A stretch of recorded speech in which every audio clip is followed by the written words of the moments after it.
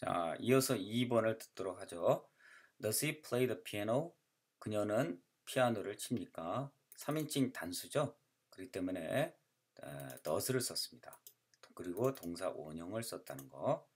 자, 이거에 대한 정답은 yes, she does. 그렇게 해야 되겠죠. she로 시작하기 때문에 she로 끝, 어, 이렇게 받아야 되고요. does 그대로 갖다가 does를 붙여주면 되겠습니다.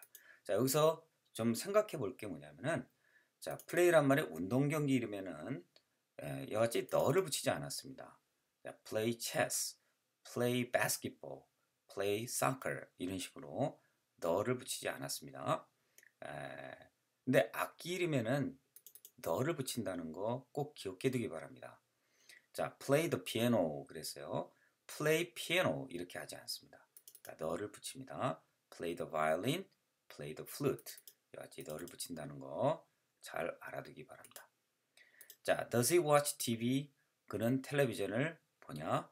Yes, he does. 자, he로 물어봤으니까 he로 대답하고요. does, does로 끝났죠. 자, 텔레비전, 아, TV는 셀 수 없는 명사입니다. 어 TV라고 하지 않는다는 거. 자, 틀린 표현 또 한번 좀 볼까요? 자, does he watch his TV? 뭐가 틀렸어요?